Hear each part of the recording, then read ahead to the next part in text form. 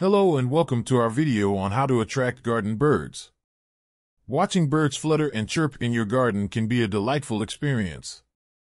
And in this video, we will share with you 5 tips on how to make your garden a welcoming habitat for these feathered friends.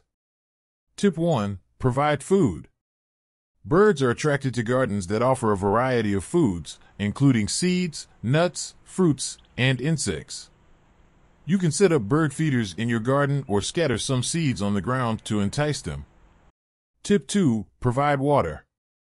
Birds need water for drinking and bathing, so consider adding a bird bath or a shallow dish of water to your garden. Change the water regularly to keep it clean and fresh. Tip 3. Plant trees and shrubs. Trees and shrubs provide shelter and nesting sites for birds.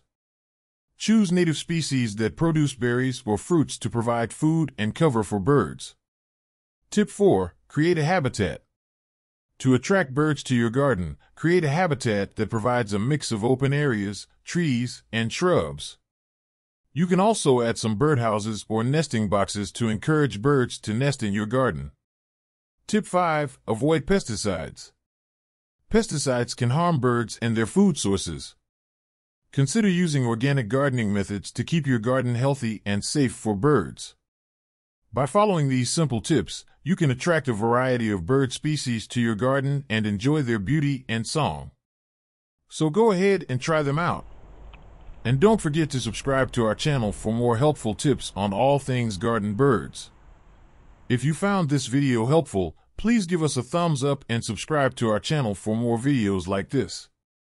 Thank you for watching.